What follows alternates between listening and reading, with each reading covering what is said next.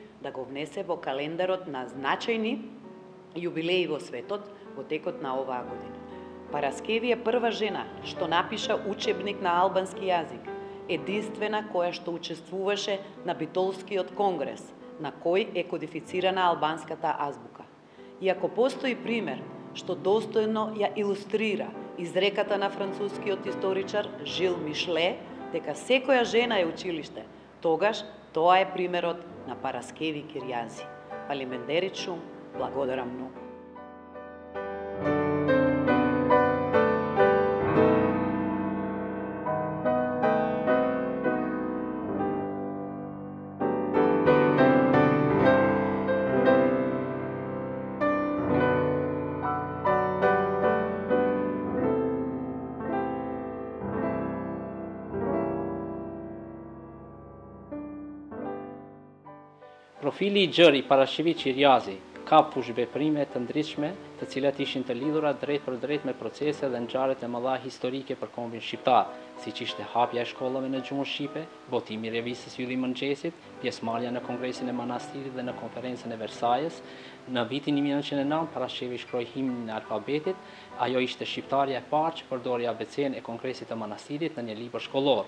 Kjo vepër do t'u shërbente fëmijëve që të mësohen me tingëllimin e bukur të shkronjave shqipe.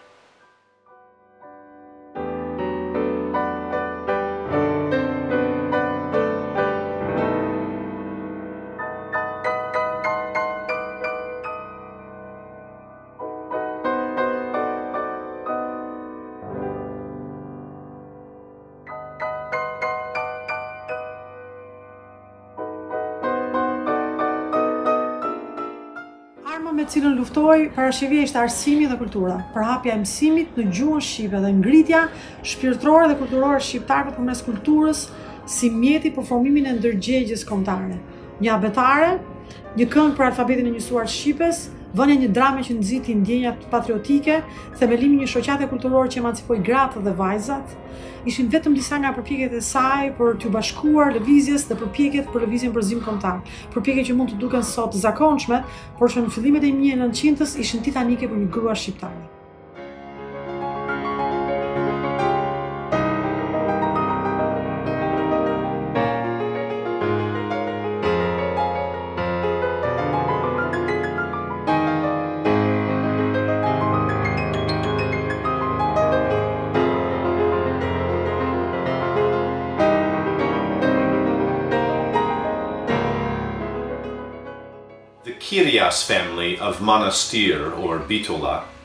was inclusive and forward-thinking. They had met American Protestant missionaries who were doing something quite unusual for their times and context, and that was educating females, teaching girls and boys how to read and write in their mother tongue.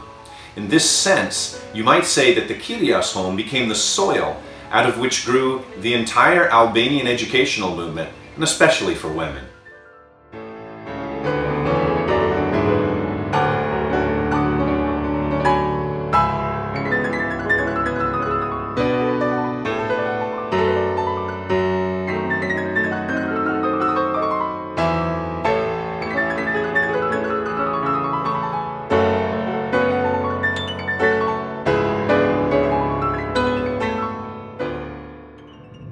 Parashqevi Qiriazin ne e njohim si heroinën që sfidoi kohën për të ndriçuar mendjet e vajzave dhe grave shqiptare. Dhe për të bërë botën të kuptojë se dora që tund djepin është dora që urdhëron botën.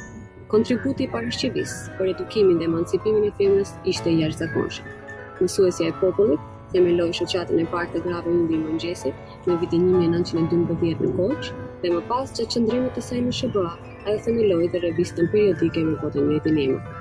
Edhe në kuadër të sistemit të saj ideal të arsimit për Shqipërinë, ajo parasheh një vend të merituar edhe për femrën shqiptare.